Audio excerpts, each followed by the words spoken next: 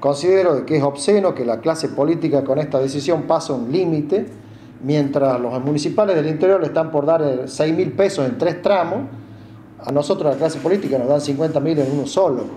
Así que mi repudio no, tan solo se queda en expresiones eh, verbales, sino que lo hago donando eso, ayer lo hice, fui al comedor Gauchito Gil y doné eh, el aumento porque considero que no, no lo tenemos que cobrar, que el gobierno lo tiene que derogar y vemos, vamos a ver cuál es la actitud que tiene el Poder Ejecutivo encabezado por Raúl Jalil y los otros poderes que han adherido, si derogan este aumento, porque es vergonzoso a la vista de todo un pueblo que está sufriendo necesidades básicas insatisfechas, de mucha gente que son trabajadores del Estado y jubilados del Estado, que están por debajo de la línea de la pobreza, a los que se lo está condenando al hambre.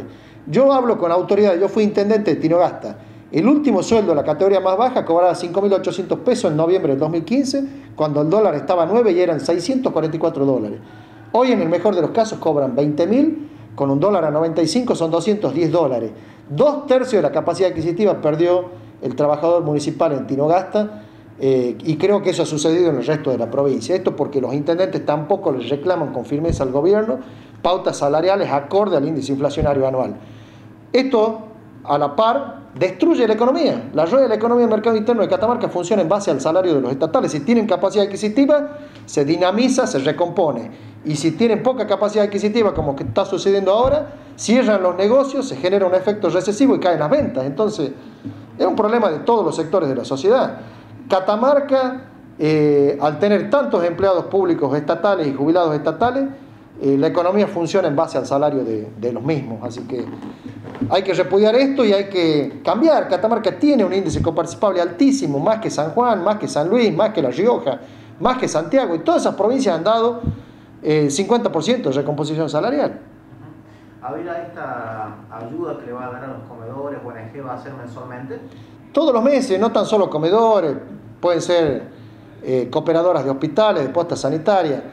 Lo tengo que hacer y esto es la parte anecdótica de todo esto. Acá lo que hay que cambiar de fondo y de cuajo es que venga un gobierno y establezca una política salarial distinta.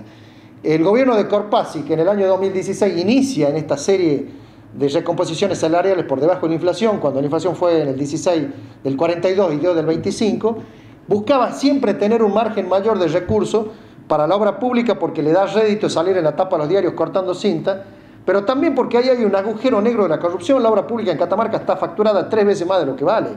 Así que hay que salir de ese esquema de corrupción y de que lo único que sostiene el bienestar de un pueblo es la obra, pública. Eso es una mentira. El bienestar de un pueblo se sostiene con una rueda de la economía que gire y que genere efectos benéficos y con que los trabajadores que son estatales, que son la masa salarial más grande, tengan un salario digno acorde al índice inflacionario anual la causa vacunas, usted hizo una presentación en el Foro Federal, ¿cómo está?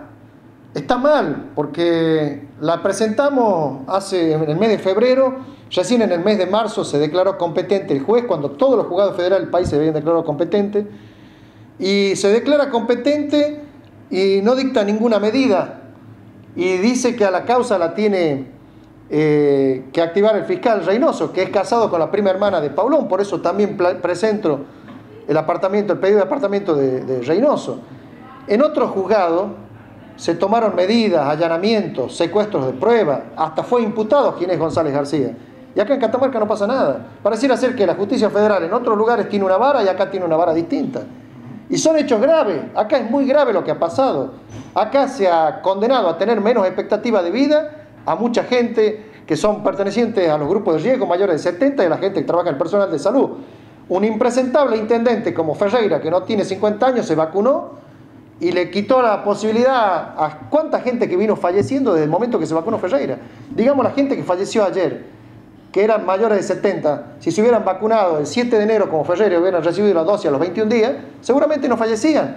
¿Cómo elaboran el duelo todo el grupo familiar de esas personas que han fallecido sabiendo que la hija de un intendente o que un intendente, que la esposa de un ministro, que un ministro que un primo de Jalil o que el personal de Jalil de Automotor se vacunó. Lo elabora muy mal y con un profundo dolor y con un profundo rechazo al poder que, que ha decidido darle este privilegio a una franja privilegiada de la sociedad de Catamarca. lamentablemente no se pudo conocer el listado de las personas que fueron vacunadas como esenciales en Catamarca. Porque la justicia federal no actúa como tendría que actuar. Tendría que haber dictado un allanamiento en el Malbrán, en el Ministerio de Salud, y obviamente que hubiera encontrado en la base de datos de las computadoras, secuestrando todos sus elementos de prueba, el listado de quienes se han vacunado. Porque debe haber una lista ya que los tiene, les tenían que dar la segunda dosis. Así que es elemental. La, la desidia del juez federal y del juzgado federal en actuar está generando esto, le está dando un manto de impunidad. Y esto es un hecho grave, es un hecho grave porque esta no va a ser la última pandemia, seguramente vendrán otras más. Y si se genera impunidad en esta, la clase política, a partir de su posición dominante en el manejo de las vacunas, va a tomar las mismas medidas siempre. Y esto no puede pasar más.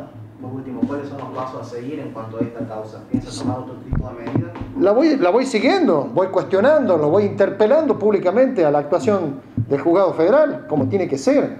Eh, para eso estoy acá, para eso tengo un lugar un ganado y dado por el pueblo de Catamarca para que luche por el pueblo, así que lo voy a seguir a muerte esto. Me parece una gran injusticia la que se cometió.